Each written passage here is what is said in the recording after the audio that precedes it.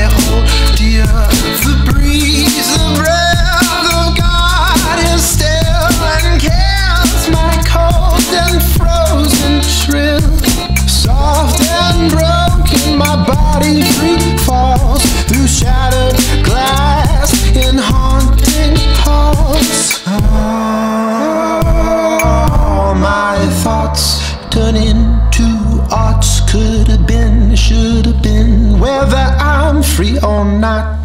All my sadness banished, it's madness, it's vanished and never coming back. My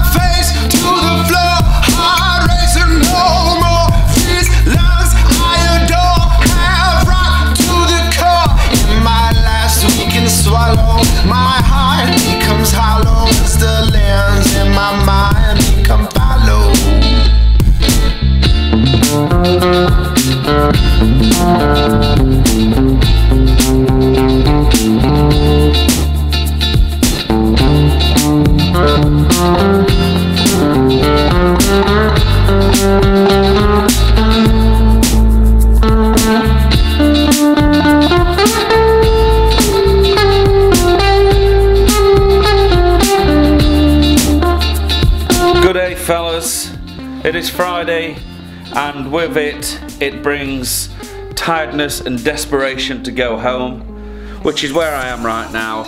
It's approaching five o'clock, almost to the hour, and uh, I've managed to get the table pretty much finished and in situ, just so I can get an idea of what she's going to look like when she's all done and dusted. Before I go up there and show you though, there's one thing I'm going to point out. I sprayed all the metalwork and the frame with uh, this. This is the Toolstation No Nonsense Trade Floor Varnish. Clear satin. I can wholeheartedly tell you now that it is terrible. It's almost like it's got wax in there. So we did a test piece a few weeks back, you might remember, I can't. Uh, and this is solid. I mean, you can't chip the varnish off it or anything, and it took to the steel perfectly. And do you know what we used for that? That's right, Wilko's Quick Dry Gloss Varnish. So that's what I would recommend you do if you're going to do this. Just turn the compressor off. So let's fly next door. I know I'm uh, darting all over the place at the moment, but I have to get ready to go home. I've got an early start in the morning. Uh, we're putting the cellar in. That'll be fun. So let's shoot into the new pub and I'll show you what we've made today. So here we are in the new premises.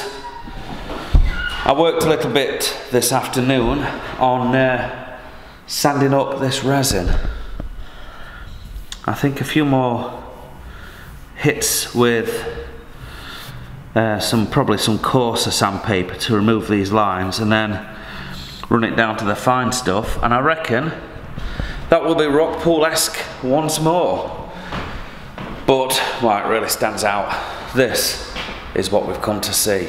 Check that out folks. In all its glory. One of two. The second one is going to stand Yaw. but I'm really pleased with how this has come out it looks aged and industrial, but we all know that This is all fake patina. The timber looks grand. The metalwork is sealed. You ain't gonna get any rust on your hands.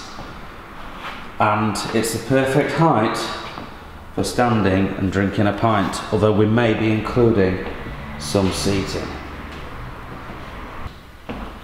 So all the bar top is sealed, as is the metalwork preventing you getting any rust on your hands, and it's the perfect height to stand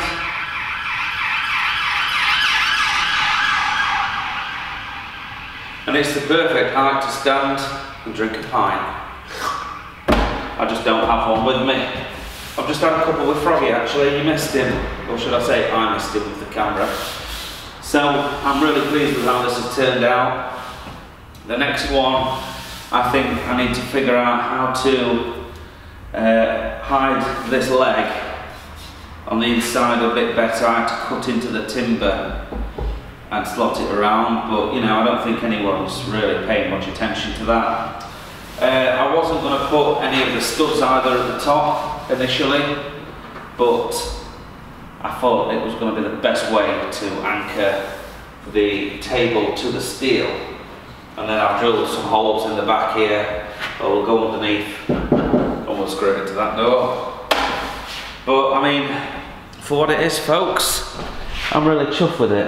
I really like the, the, the brackets, the gallows brackets, I don't know what you'd call them. I think it really sets it off with the fake studs. So that's it folks, I'm just waiting for Gemma and uh, Stuart to get back from the tip. They've taken a load of rubbish. This is finished for me now, I just have to make another one and then set about making some more tables and chairs and different things that look similar. We also have to come back in and finish this. That will all be next week. Back bar to come as well. But for today, for Friday, and from a very, very tired and weary Harry, I bid you adieu, and I'll see you tomorrow.